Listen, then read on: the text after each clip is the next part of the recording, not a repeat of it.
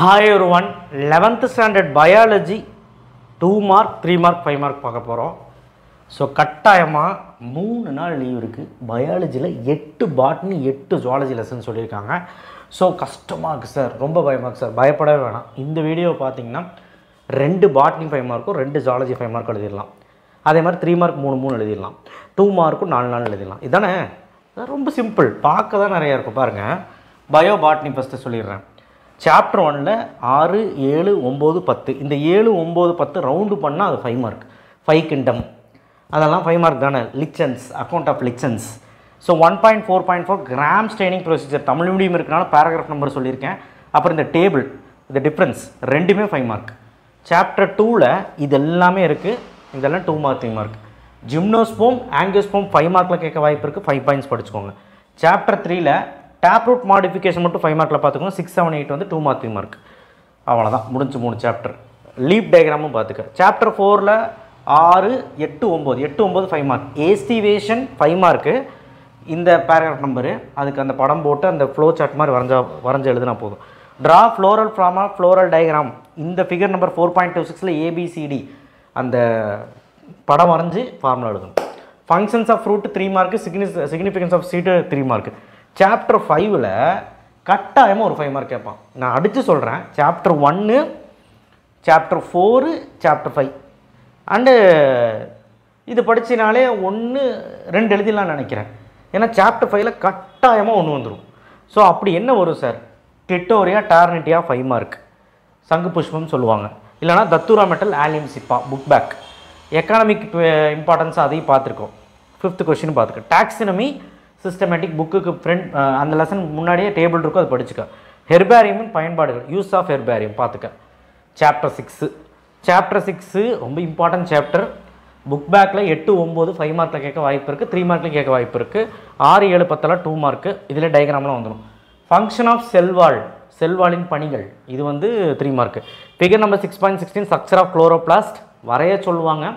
எழுதவும் சொல்லுவாங்க. நீங்கள் வரைய மட்டுமாவது இப்போ செஞ்சுக்கோங்க. ஃபங்க்ஷன் ஆஃப் நியூக்ளியஸ் நியூக்ளியஸின் பணிகள்.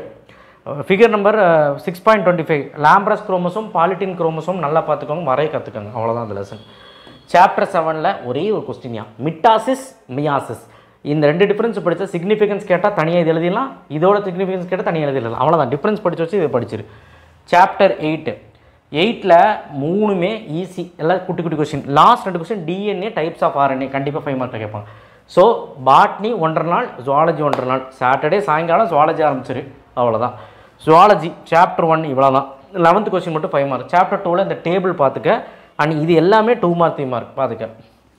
அடுத்து சாப்டர் த்ரீ இது எல்லாமே பார்த்துக்கோ. லெவன் டுவெல் மட்டும் ஃபைவ் மார்க்கு இதில் ரொம்ப இம்பார்ட்டண்ட்டான்னு கேட்டிங்கன்னா ஃபஸ்ட்டு மூணு சாப்டரை விட டூ மார்க் த்ரீ மார்க் தான் இம்பார்ட்டன்ட் சாப்டர் ஃபோர் தான் இந்த நாலு கொஸ்டின்லேருந்து ஒரு கொஸ்டின் வரும். இல்லைன்னா எக்கனாமிக் இம்பார்ட்டன்ஸ் ஆஃப் ஃப்ராக் தவளையின் பொருளாதாரம் ப முக்கியத்துவங்கள்.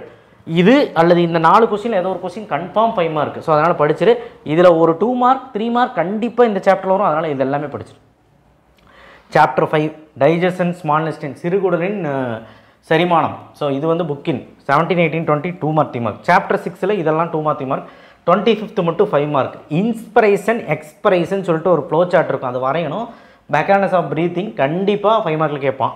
சாப்டர் செவனில் origin and of heart beat வந்து ஃபைவ் மார்க் கேட்க வாய்ப்பு இருக்குது seven point four point one paragraph இது எல்லாமே வந்து பார்த்திங்கன்னா டூ மார்க் மார்க்கு இங்கே ஒன்றே ஒன்று சொல்லிக்கிறேன். ஸ்ட்ரக்சர் ஆஃப் ஹார்ட் ஹார்ட் வரைய கற்றுக்க அதுக்கு ஒரு அஞ்சாறு பார்ட்ஸ் வரைய கற்றுக்க பார்ட்ஸ் மார்க் பண்ண கற்றுக்க நான் ஹார்ட் டயக்ராம் கேட்க வாய்ப்பு இருக்குது த்ரீ மார்க்கில் அவ்வளோதான் சாப்டர் எயிட் ஏன் சார் கொடுக்கல? அது கொடுக்குறேன்.